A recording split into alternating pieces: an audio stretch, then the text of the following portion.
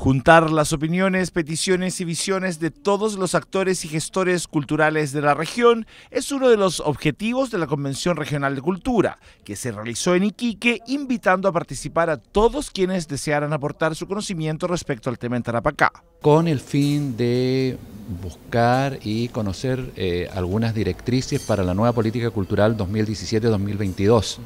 Eh, algo muy importante porque estamos pronto a transformarnos en Ministerio de las Culturas, las Artes y el Patrimonio.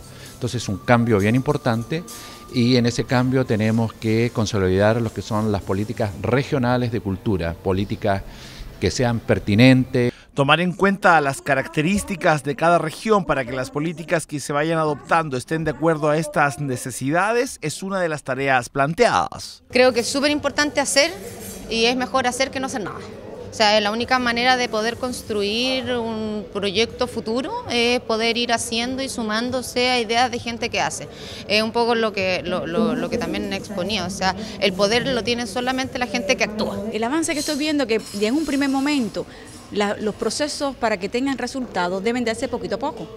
Y ya de punto de vista que se estén reuniendo, que tengan no solamente esta reunión 2016, sino que anteriormente hayan varias reuniones donde en el proceso teórico se esté ya investigando, tengan alguna... Eh, algunas posibilidades de cambio en lo que es nuestra región con vista a lo que es el desarrollo de lo que la culturalidad, o en este caso la interculturalidad en nuestra región, es un paso de avance para quienes son parte también del movimiento cultural de nuestra región, pero visto desde otra perspectiva, la situación de la cultura presenta cambios lentos a través del tiempo.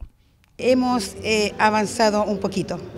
Siempre se avanza cuando hay estas convenciones o cursos eh, para poder saber un poquito más de territorio, aunque lo sabemos, territorio, cultura y saberes, pero después tenemos, digamos, una agrupación para poder eh, preguntar, pero que se avanza, sí se avanza, poquito, pero se avanza. Esperemos que hoy día se haga más efectivo eso.